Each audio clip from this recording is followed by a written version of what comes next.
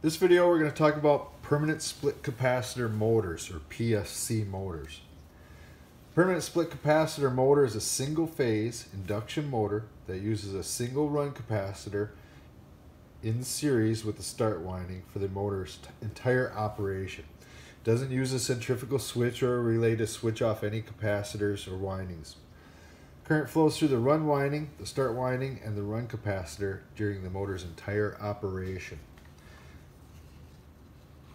So that run capacitor stays in the circuit through the entire operation of the motor.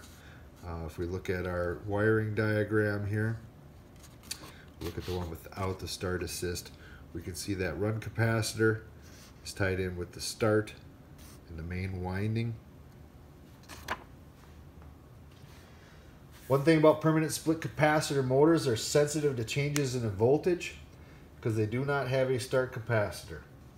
5 to 10% drop in applied voltage will cause starting difficulty and overheating. Uh, to prevent damage, a thermal overload protector has been added to the motor that will open in case there's a problem with anything.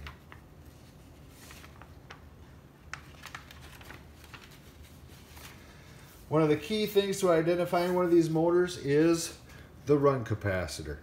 If I see a motor, it's got two brown wires coming out of it, or a brown wire with a white and another brown wire, or the run capacitor. Remember run capacitors, very low microfarads, usually they're oval in shape. I know that that is a PSC motor because that is your permanent split capacitor. You'll see these in a lot of furnaces on the blowers. Uh, data plate on this one, it is a six horse power 1075 RPM. Amps are a little higher on these now. We got 2.2 amps. So as the motor gets a little bigger, does a little more work, we're going to add a little more amp draw.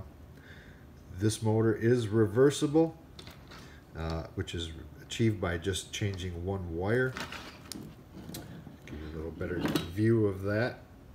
So you can just switch a uh, wire around. You can change the rotation on that motor.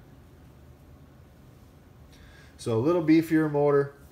Um, a lot of them have multiple speeds.